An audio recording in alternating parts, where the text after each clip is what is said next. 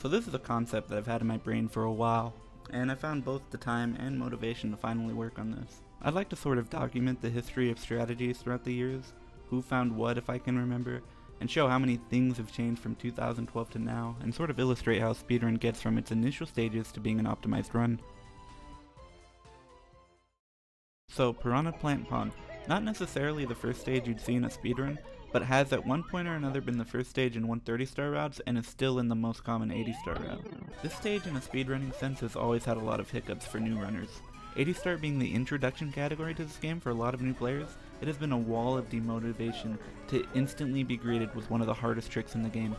I'll get into that a bit more, let's just take it one star at a time. I'm not necessarily going to go in order for the stars, so let's start with the ones that had the most variance. I remember this as being one of the early discoveries, uh, that the star requiring the metal cap didn't actually need the metal cap. This meant that the stage order was no longer bottlenecked behind having to go to Chuckya Harbor first to get the metal cap before completing Piranha Plant Pond. I believe several different people found a way to get the star without a metal cap, but these are the ones that pretty much everyone used.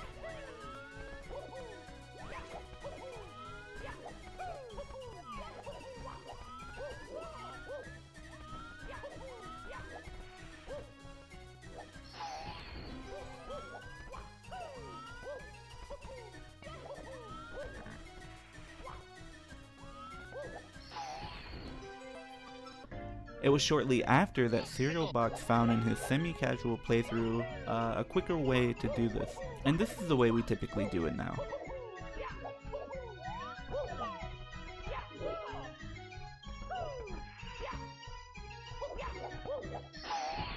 There have been a couple of variances depending on the category, uh, the strats employed, and here they are.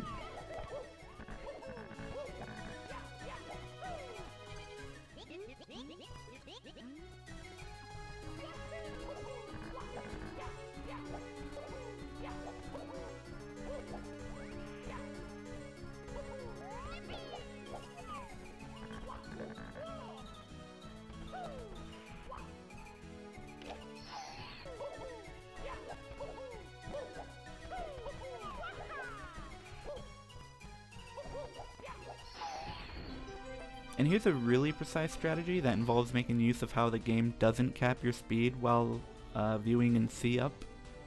Thanks to Spaceman64 for the video of this.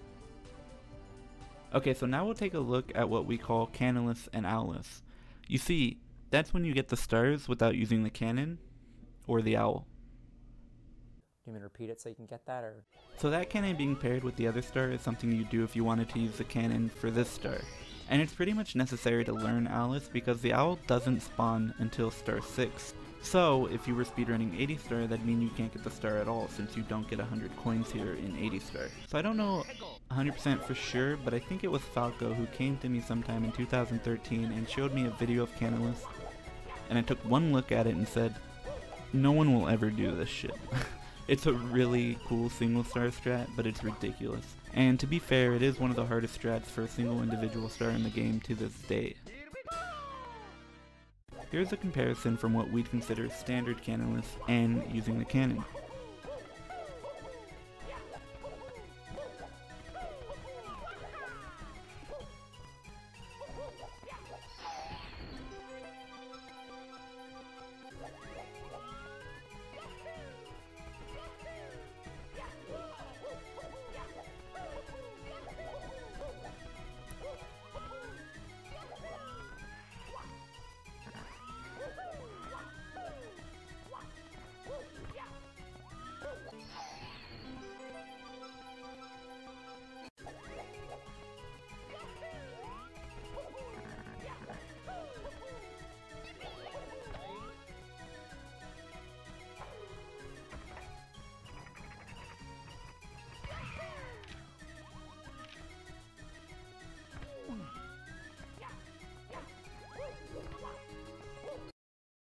And this is a comparison for what we call Pro Cannonless. The difference between Pro and Standard being that the angle required for a wall kick is significantly more precise. What's good about this strategy is typically that you can go for Pro and if you miss, still go the Standard way. However, if you go for Standard Cannonless only, you can dedicate to a much better angle, which is sort of a middle ground in terms to how much time you spend. And from here the method for Owlless has changed a bit, with I think Lahmus turning me on to the still current method. Uh, the first method was something that I saw from whoever found this, I can't remember who to credit this to, and this method is my take on it because I thought it was a bit easier. And this method is just consistent.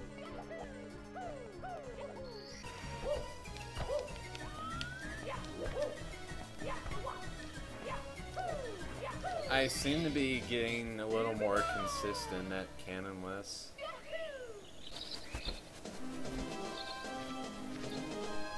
Okay, so moving on to the Cave Star. Not much here, just showing the differences in strategy. I feel the fastest way of doing this was actually the first one anyone was really doing, and then people came up with these arguably easier ones. The reason these are easier is because you have to jump pretty close to the edge and have a good angle that allows you to hold up the entire time during the long jump. I always felt like this was a superior method because, one, it's faster, and two, if you make a mistake, you have this backup which really comes down to pressing A at the correct time.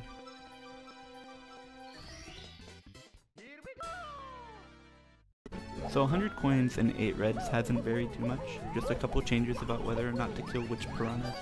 Uh, utilize this 3 coin box, until it was further optimized in 2016.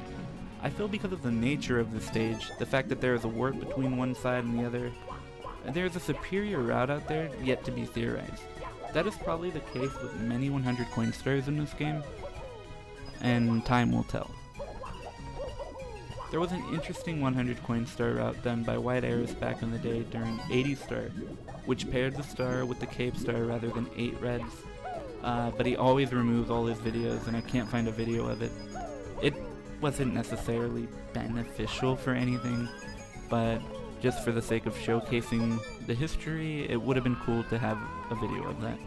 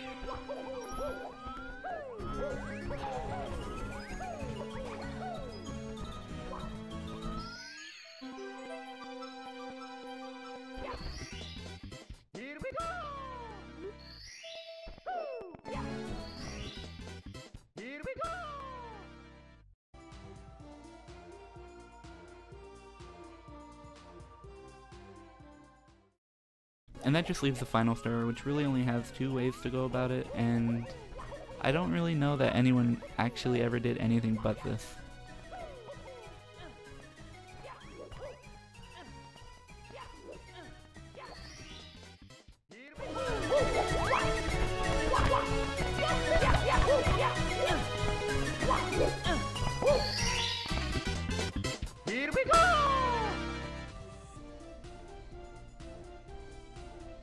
That's about it.